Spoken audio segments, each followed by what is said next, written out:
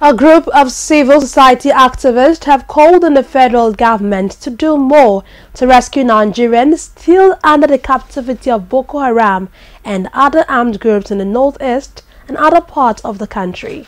The group under the aegis of the Not Forgotten, Not Forsaken movement said Nigerians, especially women, must stand for their rights. The issue of human rights of Nigerians, especially in the insurgency-ravaged northeast, has been on the front burner with the recent executions of captives by the terror group Boko Haram. The conveners of this gathering said the need for all Nigerians to stand up and be counted in the fight against terror cannot be overemphasized. They called for a revamp of the nation's security architecture and on the federal government to do more to address the situation in the northeast. They also called for the rescue of our captives by the terror group Boko Haram and other armed groups. The gathering is in solidarity with all the girls that have been kidnapped by the insurgents, by the terrorists.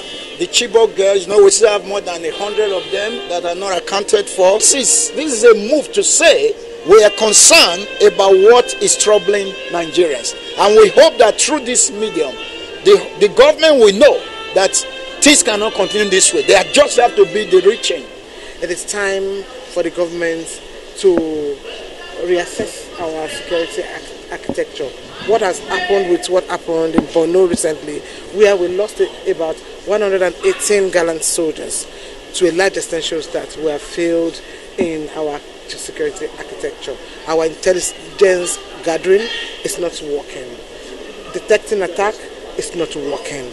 Uh, getting indigenous knowledge of conflict, we don't seem to be there. So we need to do more as a country so that we save Nigerians from dying on daily basis for an offense that they know nothing about. So you will agree with me from the speakers, from the groups that are now gaining traction along the consensus built to challenge the government of the country to rise to the occasion because the constitution, which is the supreme organic law regulating our affairs, insists that the primary purpose of government is to protect lives and property. That lives is utterly destroyed, wantonly taken, and we cannot continue like this. For popular musician Charles Oputa, the time is ripe for all Nigerians to rescue power from the old guard for Nigerians to truly develop and prosper.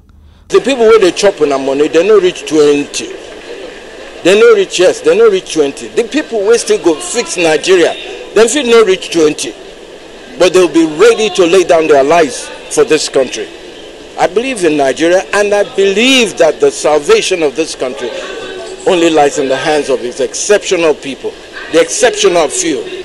So we can encourage one another. There's something wrong and we start from the leadership. Co-convener of the Bring Back Our Girls movement, Aisha Yesufu, who spoke on the issue of sexual harassment and molestation, called on women in the society to take charge and fight for gender equality. What I have to say is that it's time Nobody will give you power anywhere. We need to come out and it. We have watched over time since 1960. The men have been in position. A lot of women are being told that when women come into leadership position, there's going to be a problem. We have the problems anyway. And so the time has come for women to take up the mandate and ensure we come in to fix it. It is not time to be waiting to be given. We're not waiting to be given. We are not waiting for affirmative action. That's an insult on all of us because we are human beings in this country. We are 50% of this country and we have a say in this country and we must ensure that we do the right thing most important is that there must be competence, character, and capacity and courage in coming out for leadership. And anybody who comes out to serve must serve the people. And if, if the person doesn't serve, should be asked to leave. Other contributors opine that there is need for Nigerians to work together as one to tackle some of the nation's challenges and restore balance to the country.